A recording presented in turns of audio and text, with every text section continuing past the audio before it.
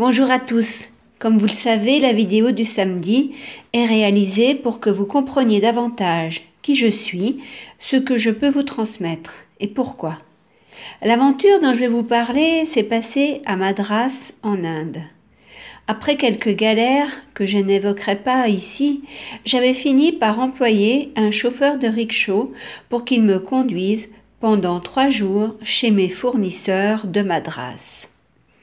Un jour où j'avais tout mis dans son rickshaw, c'est-à-dire mon gros sac de voyage, mon sac plus petit et surtout ma valise avec tous mes précieux achats déjà réalisés dans cette ville, d'une valeur de plusieurs milliers d'euros, eh bien, mon chauffeur m'a déposé chez mon marchand de saris, de nappes, plans de travail, bref, chez un fabricant et vendeur de tissus magnifiques. J'ai passé trois heures à essayer des saris, à regarder les produits, à négocier les prix. Et une fois les affaires conclues, je suis sortie dans la rue. Mais la surprise et les baillissements m'ont cloué sur place.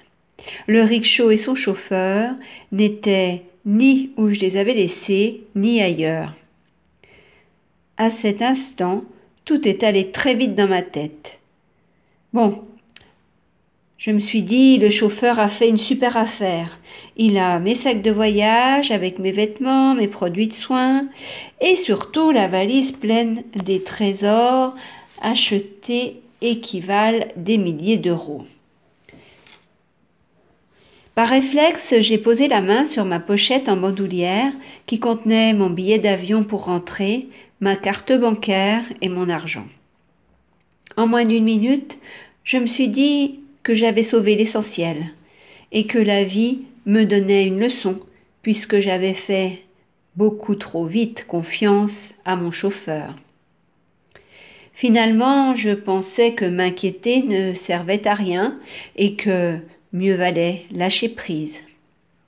J'ai demandé aux personnes qui tenaient des boutiques, des stands, s'ils avaient vu mon, chauffeur, mais ils ne parlaient pas anglais. Pourtant, ils me montraient un endroit au loin. Ne les comprenant pas, je suis retournée à la boutique des saris où le patron m'a dit que mon chauffeur de rickshaw venait d'appeler. Il avait été obligé de changer son véhicule de place par la police. Quand je suis allée l'attendre, mon cœur battait à tout rompre et j'ai remercié la vie pour ce retournement de situation. Quelle joie de retrouver chauffeur, rickshaw et tous mes biens. Voilà, avec cette expérience, j'ai compris que la vie nous réserve bien des surprises et qu'arrêter le mental, arrêter d'imaginer le pire est fort utile. Savoir lâcher prise aussi. Et vous, quelles expériences riches d'enseignements avez-vous vécues? Vous pouvez vous abonner à ma chaîne YouTube, aimer ma page Facebook Motivation Positive, visiter mon blog http www.motivationpositive.com comme d'habitude. Je vous dis, prenez soin de vous et je vous salue. Au revoir.